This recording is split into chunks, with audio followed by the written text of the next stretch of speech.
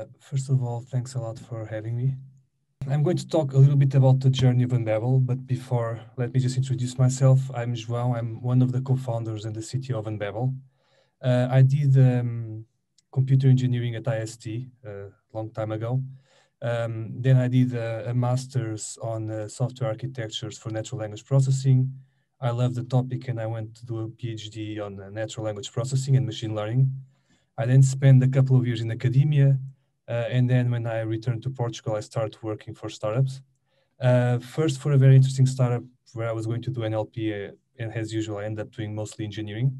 Uh, I was one of the first employees. It didn't last one year. Amazing team, but very, very little product market fit. Then I joined another startup again, same principle, supposed to do machine learning, end up being the first engineering, doing all engineering. That also didn't work, and then I started Unbabel. Um, and so this talk is actually going to be a little bit about the journey since the beginning of Unbabel until now, uh, and what we've learned so far, uh, and what we're still learning.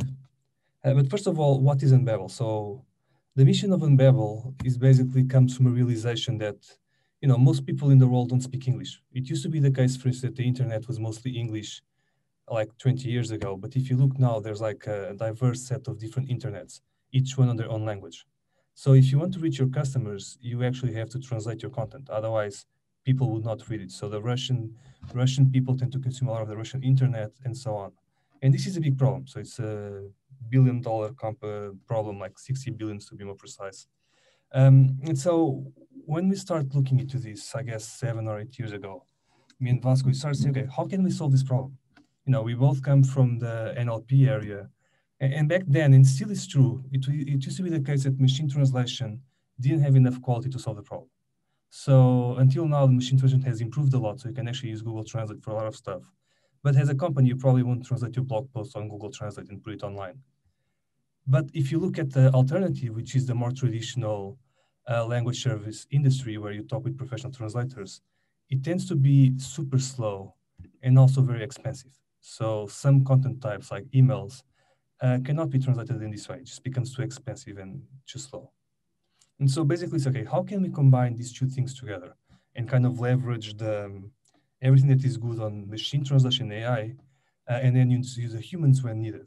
And so this basically kind of give rise to the, the Unbabel translation pipeline, uh, which is really our differentiating point until now. And this is basically a pipeline that allows you to trade off speed and quality and cost depending on the transition that you're doing. So the way it works is you get some text, it goes to a pre-processing step, which um, not only remove all the markup, to split the text into sentences, but it actually has a fairly complex uh, AI module to identify what are the entities, like the names, the products, the locations uh, on the text. And this is required because you need to do anonymization because of GDPR, and also to help the machine translation. Then it goes to machine translation step. You can think about this as our proprietary Google Translate.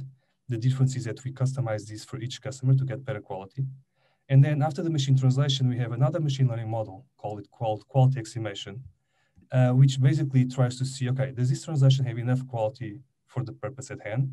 If so, we can send it to the customer.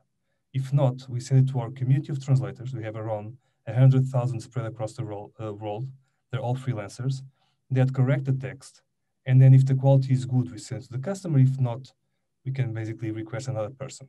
So this is basically the, the fundamental pipeline. And then you can customize this and pick more modules. And the good thing is like Unbabel at the same time is a data generation machine. So every time you do a translation, you can actually retrain the entire system. So this is really, really interesting. And so we call this combination of human plus AI the language OS. So you can think about it as the AWS for language. Uh, and then there's another component, which is most of our customers, they don't care about translation. They basically care about communicating with their customers. And so since the beginning, we wanted to have this integration marketplace where basically we can replace the tools that our customers use by the same tool, but with Unbabel. So for instance, if you're using Zendesk and you install the Unbabel plugin, all you need to say is, I only speak English and Portuguese, and any email that you get on your Zendesk is from another language will be automatically translated into English or Portuguese and then you basically reply, let's say in English, and it gets your customer in his language. And so you actually like are abstracting away the fact that you're talking with a Chinese person in China. Uh, and we do this by having humans in the loop, like I showed to guarantee quality, and in around 15 minutes. So it doesn't impact our SLA. Um, so this has been very disruptive. And then we have the portal, which is basically the system where you actually manage a language OS, where you can configure, you can see all the analytics, all the dashboards, you can compose new translation flows from the pipeline to new content types. Um, it, it, does have a big surface of software that needs to be developed. And so basically, you know, we've been growing. We work with a lot of uh, big brands that stress the system a lot, which is uh, pretty awesome. And just to give you an idea, so we've been very focused right now at this phase of Unbabel or until the previous phase on customer service, so chat, tickets, and FAQ. And just to have an idea, like EasyJet, if you talk with EasyJet on some languages, I can tell you that those messages are going to India and coming back despite the language that you talk about. And they saw the CSAT increase than actually having native speakers because that was the alternative, and the cost is much lower. And CSAT is mostly because normally the speed tends to be faster because there's more people available, and also because you know in some parts of the world people actually care about doing customer service. So actually, they make much of a bigger effort to solve the problem. Another example is Logitech again, CSAT much higher, first response time much lower. So this is just to give an idea of the business so that we've set up until now. And now what I'm going to talk about is the juicy part. So how was the journey until this point? So, okay, let's start with the beginning. So this was pre-series A from 2014 to around 2016. This was from five to 30 people. This was the time that we went through Y Combinator. Uh, a lot of things happened. I mean, there's this, a whole book that could be written about this, this phase. But this was actually like a, in some ways simple. So this is the amount of words per month that we're doing. So at 2016, we're almost doing 1 million words per month, which is amazing. But this is nothing, to be honest. Um, and it was simple. We had like one sim- single development team of around 12 people. At this point, all we wanted to do is to basically build and ship things fast to try for product market fit.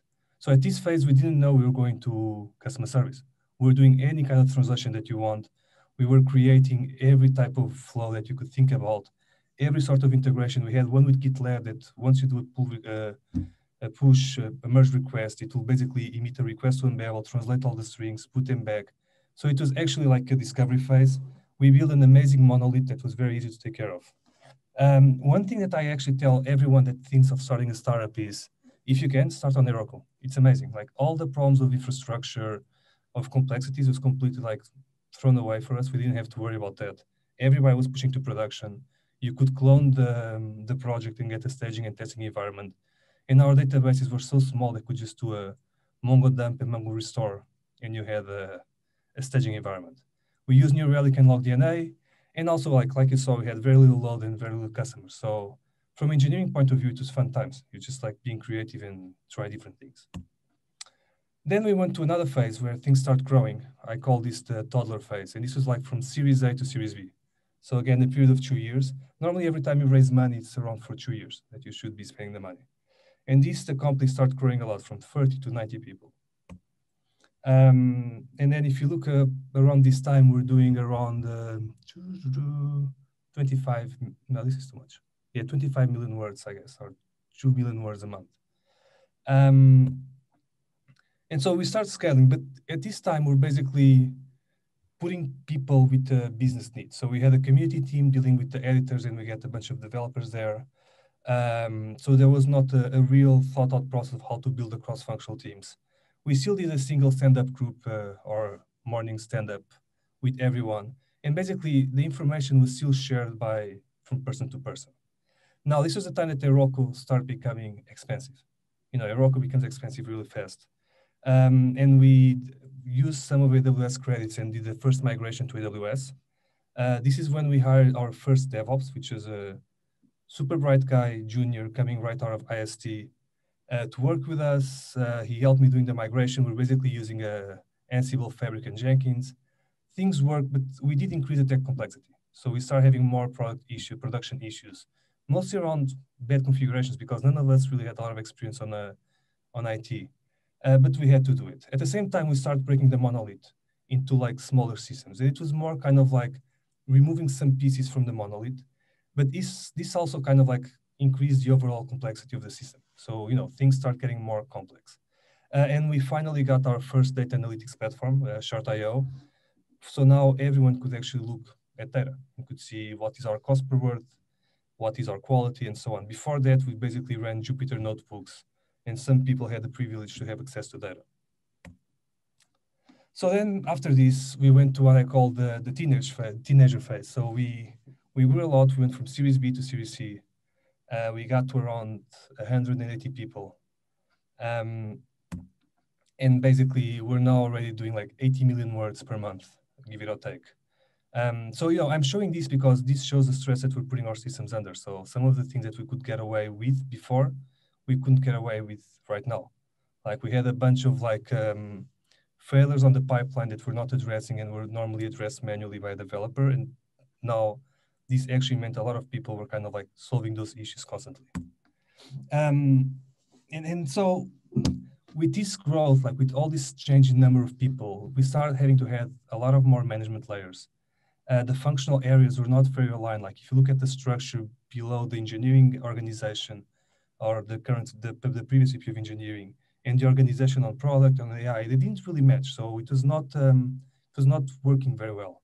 And the knowledge was spread around the company and not structure. So another advice that I, that I would do if I will go back in time is write more documentation. Make sure you write why things are the way they are, what was a hack, what was not a hack, what was the intended architecture. Because once you grow enough, no one knows it. And then what happens is people end up building stuff in the wrong places of the pipeline or redoing work. So um, this was something that was really interesting in learning. At the same time, we went from having tickets. Tickets is an email. So email was our first real product that we could go very fast, but the MT quality was not good enough. And it was, it's still amazing and probably our best product. But we start having a pool for other products, FAQs, which normally they can be slower on the reply, but they're much bigger.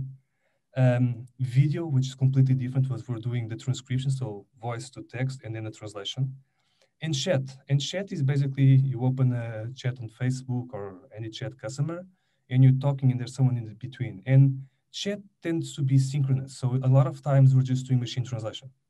And this is where one stress starts opening up, which is we never optimize for speed because humans, the fastest human possible would take like 10 to 15 minutes.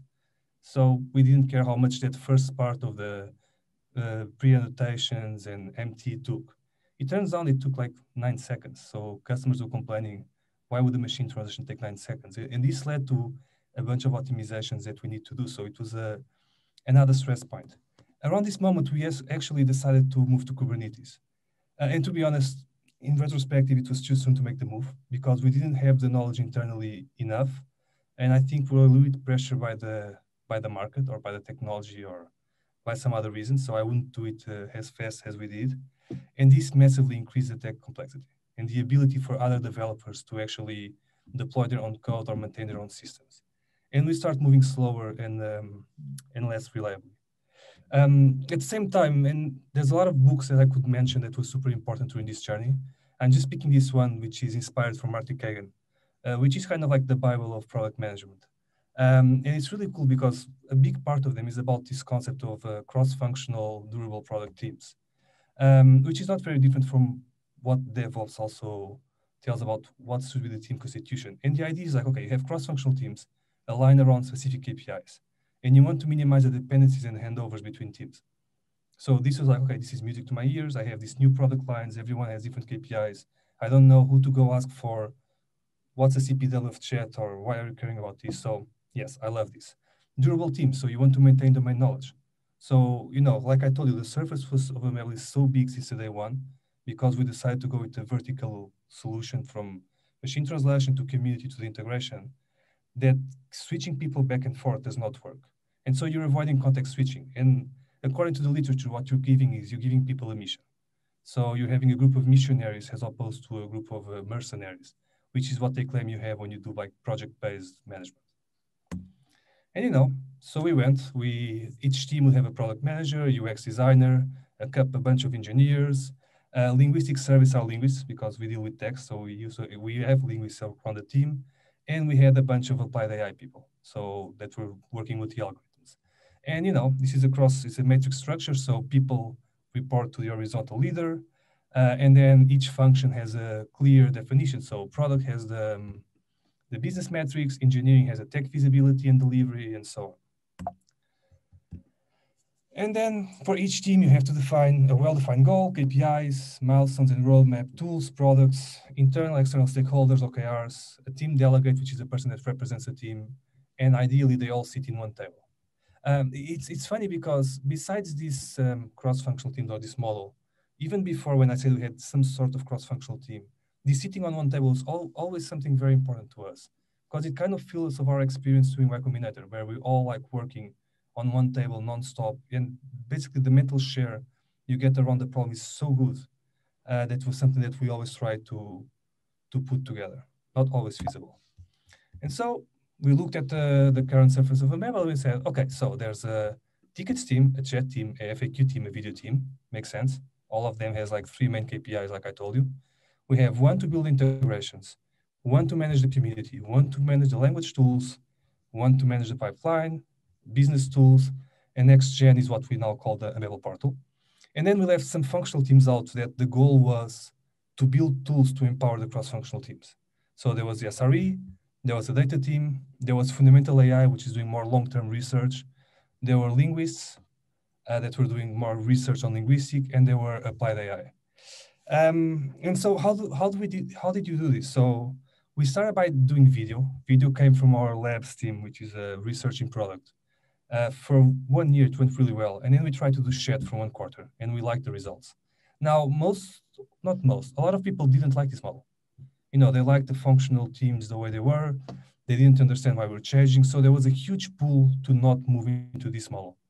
Um, and so at, at some point I realized, okay, if we try to do team by team, not only is this going to take forever, as we're not going to see the full effect because we have all these people pushing for this to fail. So you might as well go full on. And so we did. We split the teams, we defined the KPIs, we assigned people, and from one quarter to the other, boom, we changed. Um, and I think it went pretty well, to be honest. All right, and then I'm going to jump to the phase that we are now, which I'm calling you the young adulthood. And you know, right now we're doing around 150 million words per month, so we're stressing the system a little bit more. And so it turns out that moving to cross-functional teams was not as easy as we thought. So first of all, trying to get these clean team boundaries leads you to many teams because you want to have all these right KPIs. Sometimes they don't align, so you split the team. So this becomes really resource intensive. And if you do this back, which is raising money, you end up hiring more people at a faster pace because now you have engineering managers looking at a couple of teams that always try to to get people on those teams. And, and there obviously there's work to do, but I think it's uh, not wise to go as fast. The other one is like the roles and responsibilities for each function. It's not, it was not clear. We were not really clear exactly what means for a product manager to be in charge of the business KPIs and engineering to be responsible for the delivery. So there was some confusion and uh, different profiles of people understood things in a really different way.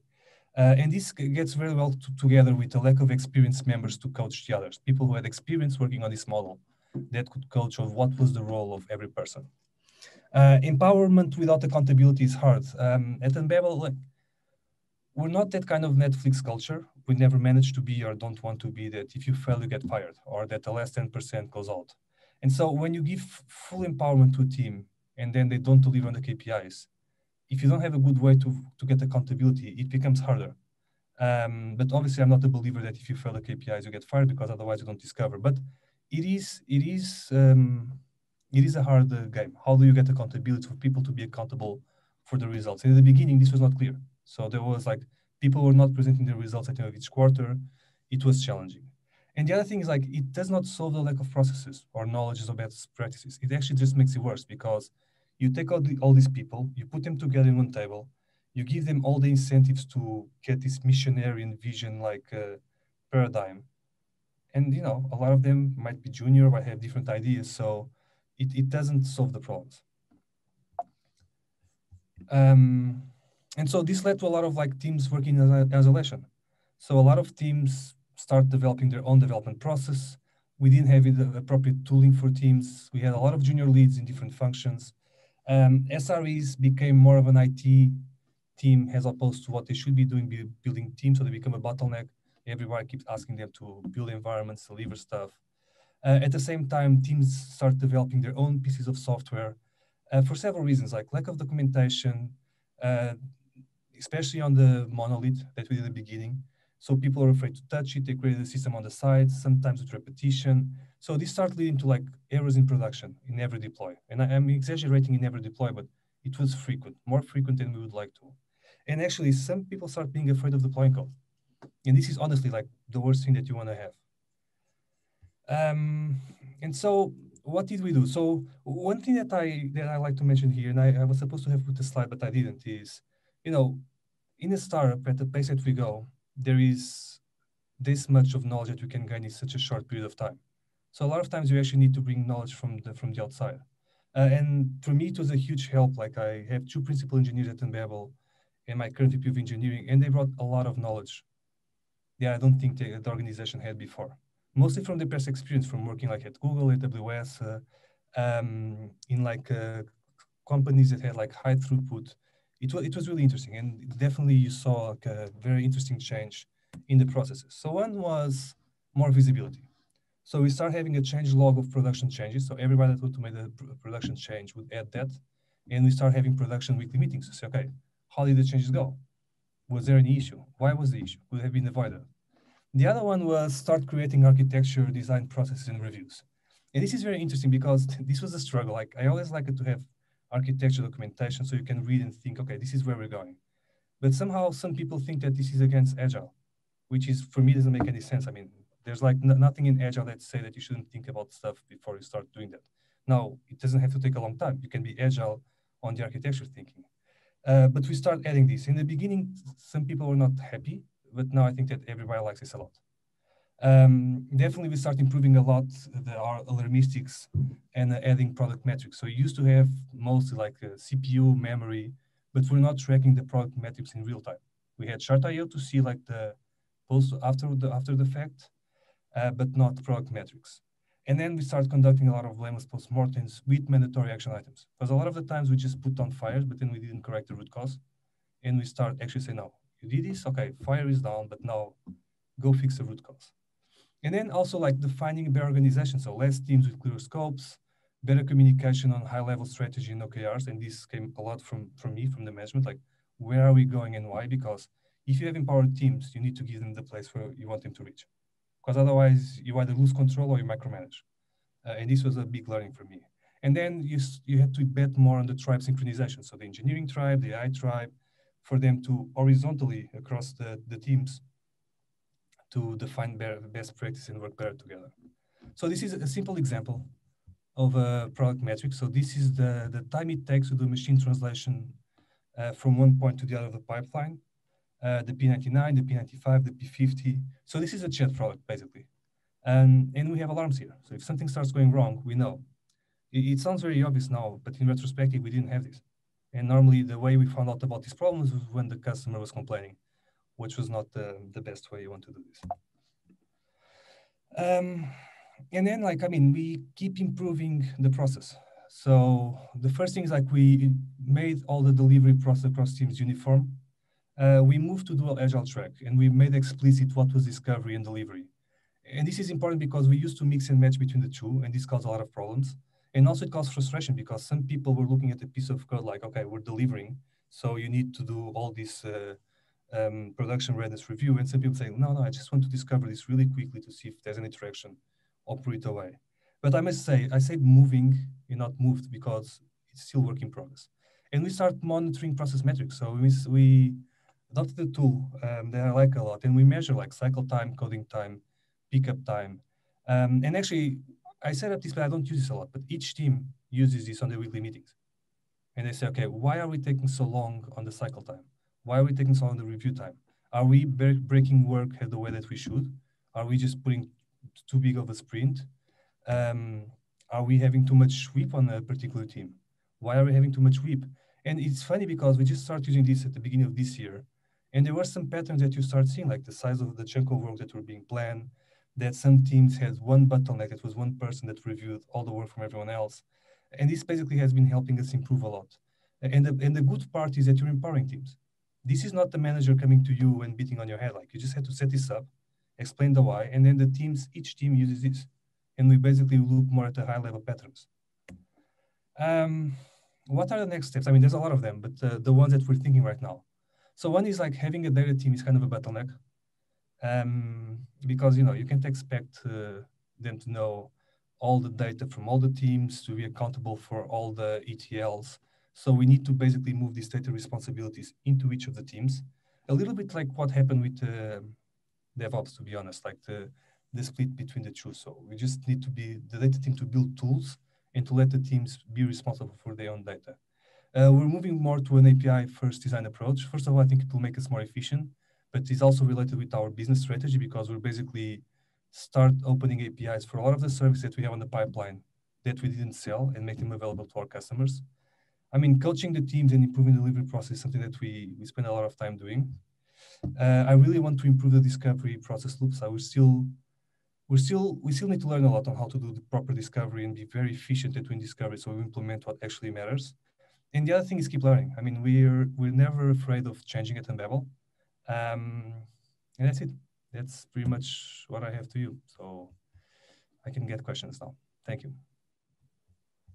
Uh, yeah, I just want to ask João what if he can describe what was the what was the reason why the teams were not comfortable by changing the way that they are working before and after the the changing in terms of splitting the teams?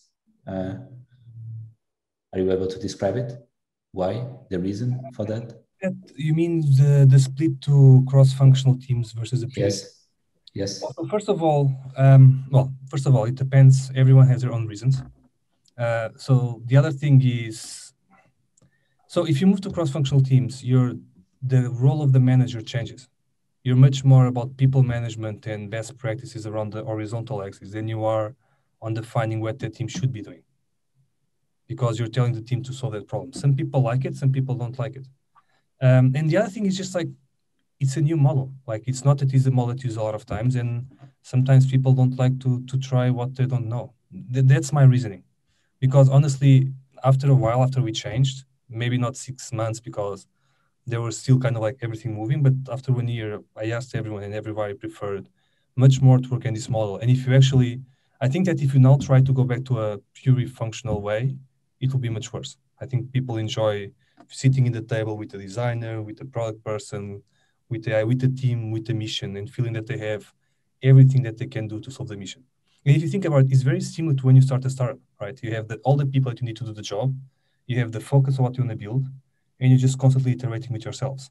Now, for instance, some, some interesting challenges like, you know, if when you're in this model, sometimes, you know, you're in engineering, but you might have to do stuff that is not just engineering because you're only five and some stuff needs to be done. But it's very close to what the early phase startup is. Sorry. Uh, yes. Did you have a lot of levers on that epoch? Uh, we had some, but uh, but to be honest, there was two things uh, happening at the same uh, at that time. Like one was more a internal kind of business direction that some people agreed, some people didn't agree, and this one as well. So I'm not sure. There were people leaving for both of them. I'm not sure if it was more the first or the second. It's also like you know, it's it was a transition period. Like after four years, 150 people. A lot of people who join the startup at, when they're 10 or 20, when they're 150, it's not the same company. They don't want to start or they didn't grow as expected. Yeah, so yeah. it's hard to say because of everything that happened at that time and the fast pace that we're growing. Why did people leave? A lot more people joined, like you saw in the numbers, but yes, there was some people leaving. Mm-hmm. Yes, um, great material. Thank you. Um, my question is more on one of your slides. You indicated that you found a challenge with the tools for the developers to use in DevOps. How did you solve that? Did you create a a common platform for people to access some standards and guidelines? Um, no, I mean, so one was saying sprints are all two weeks and they started this week and we're using Jira for this, GitLab for that. The other one is building tools all, all around the metric emission, so on. So, okay, we all use the same libraries. Was mostly try to build standards across the company. And they keep evolving because some of them are not ideal, so we just change them. But remember, we're still in the young adulthood. And I'm not even sure we're there. Maybe in 10 years I'll I'll switch the names. So there's still a lot of things to learn. In which point are you? Are you continue to work in the mono repo or it's already split? Oh, no, right now it's split. So we around two years ago we actually did a big change in architecture. It was like the architecture after the the monolith that we started. because it, it, was outdated. Outdated because of all the people who touch it, outdated because the business model changed. So that was built around a web order where you copy text, select 10 languages, translate and press translated. So I would say even even that was the original model, it lasted a lot. Now we have one that's more around the there's a chat middleware, tickets middleware, so it's it's nicer. It follows it follows the Conway law, the inverse Conway law. It will also have its problems in 10 years from now or five, but right now it's working pretty well. Joe, you spoke about some tools that you use to do monitoring, uh, because I work a lot on that space, monitoring observability. I, I would like to know how much did you felt that the tools by not the tools, the, the practice did allow you to have more confidence on deploying things, on managing things and the load, and these kind of things. truly helped the third way of DevOps regarding uh, learning and bringing that knowledge. I mean, I, I think it was not so. We use right now Grafana, uh, Prometheus, uh, LogZ, you know, kind of a, a, traditional stack, and that serves pretty well. I think the learn, and before we use New Relic, which I love, and now we stop using, we use other stuff. I think it's not so much about the tools, it's about what metrics do you meet and how do you, how do you think about the data that your system is producing and how you should look at it more than the tools. And, and so for instance, like one of the, of the three guys I mentioned that joined us, he had a lot of, he spent a lot of time implementing um, DynamoDB at AWS and running like really high throughput systems. So when he joined and he looked at the metrics that we're collecting, he's like, what the hell? How do you know what's going wrong by just looking at this and just changing that and emitting different metrics and setting up new dashboards? It made all the difference. Or for instance, we had jobs that were not delivered. They could not be delivered because, you know, some of the thousands of systems we call have timeouts because we had a problem parsing the HTML because the machine translation, you know, all these reasons, but we didn't know them.